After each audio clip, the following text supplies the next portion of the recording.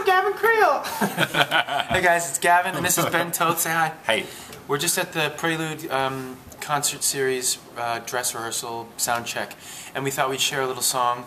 Um, this is my favorite Sondheim song ever written for me in my heart. This is the greatest from Dick Tracy called "What Can You Lose."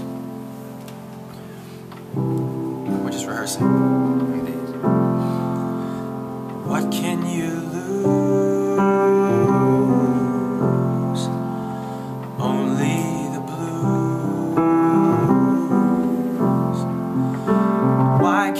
Concealing everything you're feeling? Say it to him. What can you lose? Maybe it shows he's had clues which he chose to ignore. Maybe though he knows and just wants to go on as before. As a friend, nothing more. It feels good. So he closes the door. Well, if he does, those are the dues.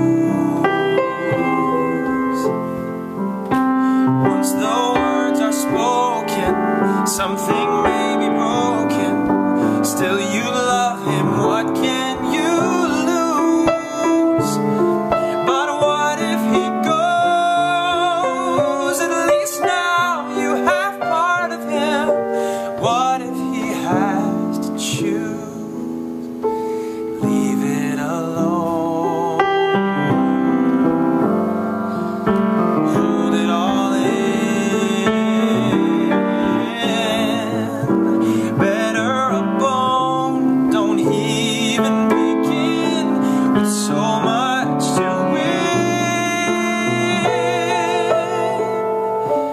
There's too much to lose.